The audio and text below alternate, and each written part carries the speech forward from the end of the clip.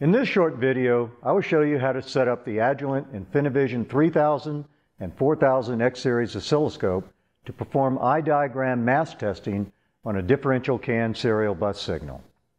The first step is to download the various CAN mask files that Agilent provides on our website. These mask files are available at no charge. After storing the appropriate files to your USB memory device, insert it into the scope's front panel USB device port. The next step in making this measurement is to probe the differential CAN bus.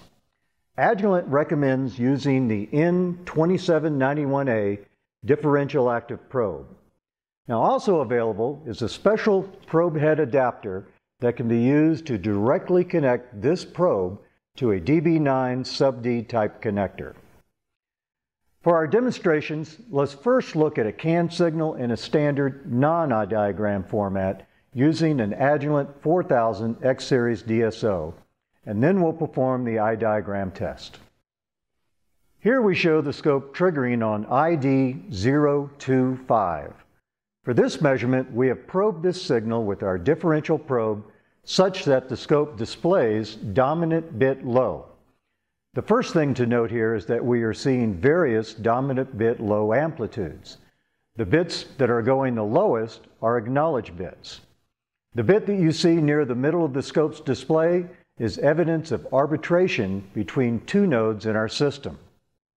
Although we can't see it yet, there are also some timing shifts associated with these particular bits since they are being generated by asynchronous nodes. But an eye diagram test will overlay all bits on top of one another to show us all amplitude and timing variations. To execute an eye diagram mask test, we'll begin by pressing the Save Recall front panel key. Next, select Recall, then navigate to the appropriate mask file. In this case, I'm going to recall a 500 kilobit per second mask file based on dominant bit low probing. When you recall this file, the scope will automatically set itself up to randomly capture and overlay every differential bit of every CAN frame based on a unique clock recovery algorithm that emulates worst-case CAN receiver synchronization and sampling. With all bits overlaid on top of one another, we can now see worst-case amplitude variations as well as timing jitter. But the jitter that you observe in a CAN eye is not the typical random timing jitter you see in most other eye diagram displays.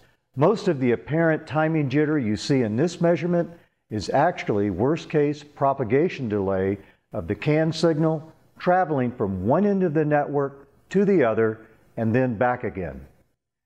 During testing, if the signal crosses through any part of the pass-fail mask test region, Failures are clearly marked in red as you see here.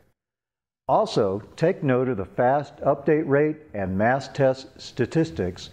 This scope is capable of testing over 200,000 waveforms per second. To learn more about Agilent's new InfiniiVision X-Series oscilloscopes, contact your local Agilent distributor and ask for a demonstration. Thank you.